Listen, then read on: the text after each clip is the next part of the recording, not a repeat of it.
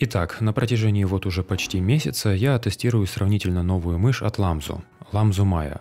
На данный момент это их самая легкая игровая мышь. Но значит ли это, что она лучшая? Есть ли какие-нибудь особенности, помимо малого веса, которые могут привлечь геймеров и мотивировать к покупке? Ответ на этот вопрос – да, есть. Вот радует меня подход LAMZU к упаковке. Понятное дело, что вся эта красота не бесплатная, но это тот самый случай, когда за приятный experience не грех заплатить. Сразу понимаешь, что купил топовую вещь. Но красота это, как говорится, не главное. Что по комплектации? Смотрите сами.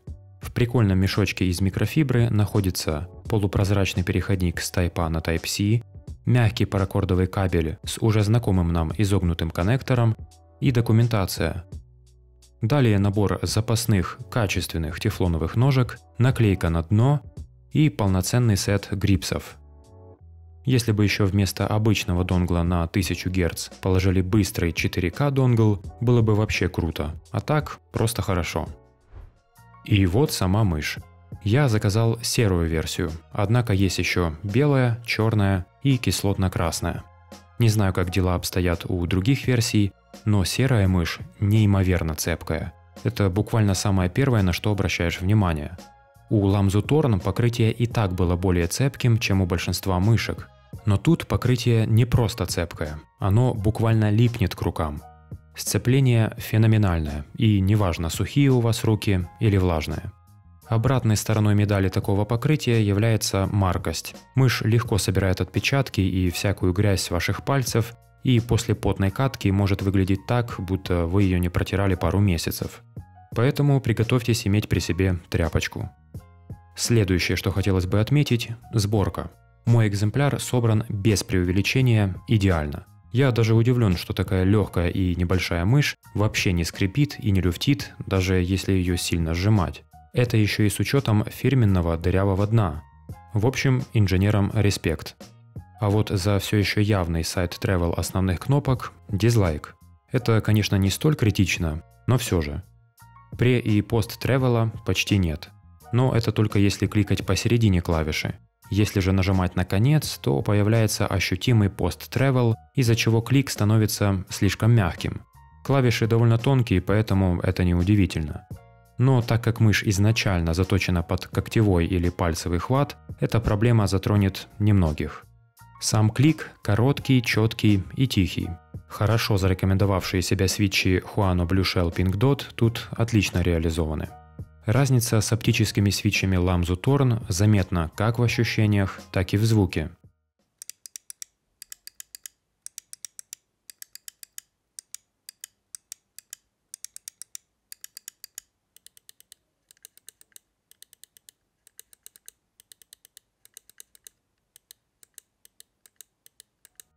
Нельзя однозначно сказать, какие свечи лучше. Но, кажется, для игр пингдоты будут предпочтительнее за счет более короткого и легкого клика. Колесико меня прям порадовало.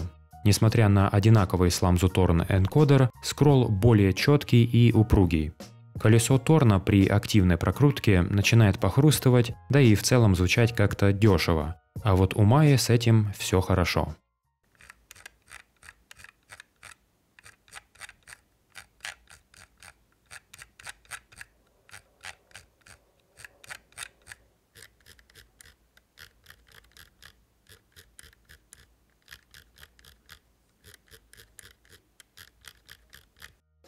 Отсечки ощущаются лучше тоже на ламзу Maya.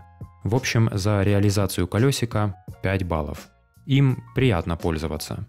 Боковыми кнопками, увы, пользоваться уже не так приятно. Нет, они неплохие, но их исполнение не дотягивает до уровня Торна. То ли за счет формы, то ли за счет внутренней конструкции, кнопки нажимаются не так упруго. Небольшой пре- и пост-тревел, как и при активном кликанье, имеется.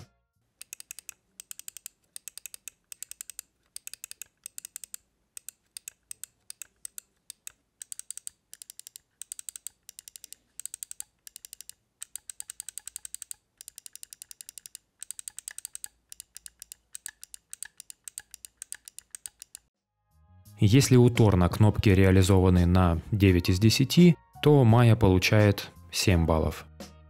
Что же до автономности, то она здесь немного лучше, чем у Торна, несмотря на одинаковую емкость аккумулятора. Возможно, оптические свечи потребляют больше энергии, или сам аккумулятор тут качественнее. В любом случае, на неделю обычного использования мыши точно хватает. А теперь, когда обсудили техническую часть, предлагаю поговорить об ощущениях. Поначалу форма очень непривычная и даже неудобная. После релакса на ламзу Торн с его ладонным хватом переходить на более мелкую маю с пальцевым хватом было неприятно. Но спустя неделю я полностью привык к новой мышке. За счет невероятно цепкого покрытия, небольшого веса и коротких легких кликов, эта мышь ощущается как более точная. Я даже решил проверить свои догадки в AIM трейнере, и оказалось, что это действительно так. На ламзу Maya мне стабильно удавалось набирать больше поинтов при лучшей точности.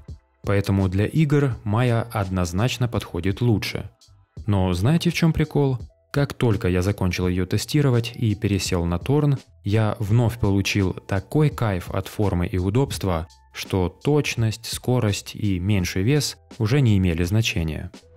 Майя безусловно отличная мышь, уверен лучше многих других, но нужно учитывать ее особенности. Мне кажется, что она сугубо игровая. С ней вы получаете цепкое, но при этом маркое покрытие, короткие клики, четкое колесико и, что самое главное, точность. Она никаким образом не будет ограничивать ваш скилл, скорее наоборот, поможет его раскрыть. Но это все ценой удобства, ведь при пальцевом хвате, как ни крути, рука напрягается больше и быстрее устает. Если вас это не страшит и вам нужно что-то для максимальной производительности в играх, то Maya отличный вариант. Если же нужно что-то более универсальное и удобное, то советую обратить внимание на ламзу Торн.